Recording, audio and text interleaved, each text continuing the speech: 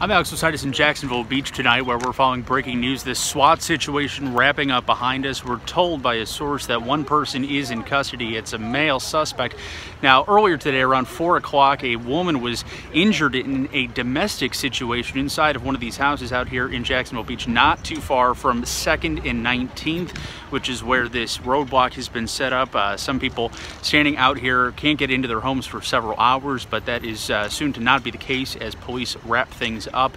Uh, we're told that that woman is going to be okay. She is safe. She was out of the house uh, and uh, has been uh, taken for uh, evaluation to see the extent of her injury. So we are staying on top of this. We'll have a, another full report coming up tonight on First Coast News at 11. But for now in Jacksonville Beach, Alex Osiadacz, First Coast News on your side.